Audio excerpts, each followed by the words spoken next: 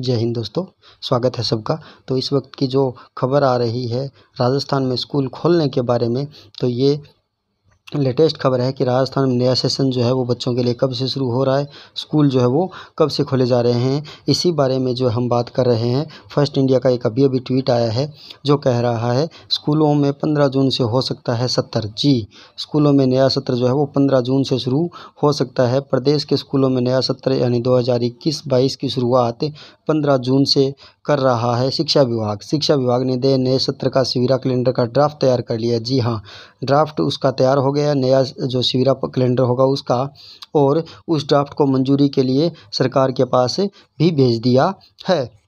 यानी राजस्थान में जो सेशन है, वो पंद्रह जून से शुरू हो सकता है। मैं आपको बताता चलूँ नॉन बोर्ड के बच्चों को जो है वो प्रमोट कर दिया गया है छः से नौ यानी एक से नौ हो गया और उसके अलावा ग्यारहवीं के बच्चों को प्रमोट कर दिया गया है। बात रह गई दसवीं और बारहवीं के एग्ज़ाम की तो जिसके बारे में आज मीटिंग हो रही है। हालाँकि सीबीएसई ने अपने बारहवीं और दसवीं के एग्ज़ाम कैंसिल कर दिए तो उसी तर्ज पर शायद ये मान के चलें कि नाइन्टी परसेंट जो है वो एग्ज़ाम कैंसिल होंगे, लेकिन दसवीं के तो आप मान के चलो, श्योर ही है एग्ज़ाम कैंसिल होने हैं।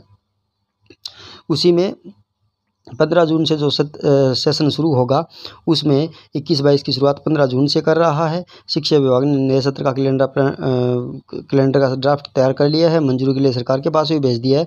हालाँकि कैलेंडर में कई विसंगतियाँ आई है सामने। कैलेंडर में पंद्रह से बीस जून तक प्रवेशोत्सव का दूसरा चरण बताया गया है। जी हाँ दूसरा चरण यानी एडमिशन लेने का जो दूसरा सेकेंड चरण है, दूसरा चरण है, वो पंद्रह से बीस जून तक बताया गया है। हालाँकि प्रवेश की अंतिम तिथि जो है वो पंद्रह जुलाई की गई है और पहला चरण अभी तक शुरू नहीं किया गया है। मैं आपको बता दूँ कि जो बच्चे हैं, हालाँकि जो स्कूल जो है वो पंद्रह जून से शुरू हो जाएँगे, लेकिन उसमें बच्चे स्कूल नहीं जा पाएँगे। उनमें सिर्फ़ अध्यापक ही मिलेंगे आपको स्कूल में। अगर आपको कोई एडमिशन प्रक्रिया अपनी पूरी करनी है तो आप स्कूल में जा सकते हैं, वहाँ पे मिल सकते हैं। लेकिन पंद्रह जून से अध्यापक मिल जाएँगे। शायद बच्चों के आवागमन की बात करें तो बच्चे जो है वो आपके अगस्त के अंदर अगस्त के अंदर जो है वो बच्चों को स्कूल में बुला लिया जाएगा, लेकिन वो भी कुछ लिमिट्स के साथ, जैसे मान लो पचास परसेंट बच्चों के साथ बुलाया जाएगा, पचास परसेंट बच्चे क्लास में एक दिन और पचास परसेंट बच्चे एक दिन आएँगे।